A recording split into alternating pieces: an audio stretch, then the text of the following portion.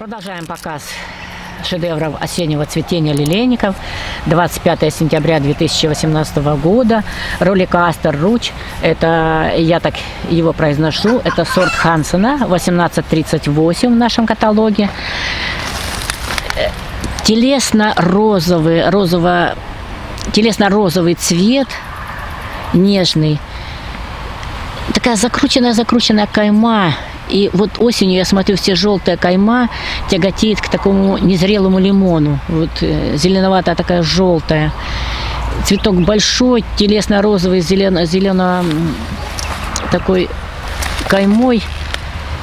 Просто шедевр, шедевр такого, в таких розово-розовых оттенках, розово-кремовых.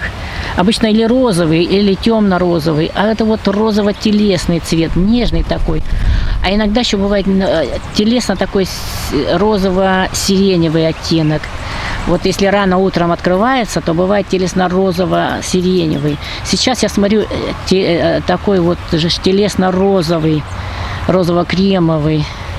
Ну, в общем, даже не знаю, как эти цвета тяжело описывать.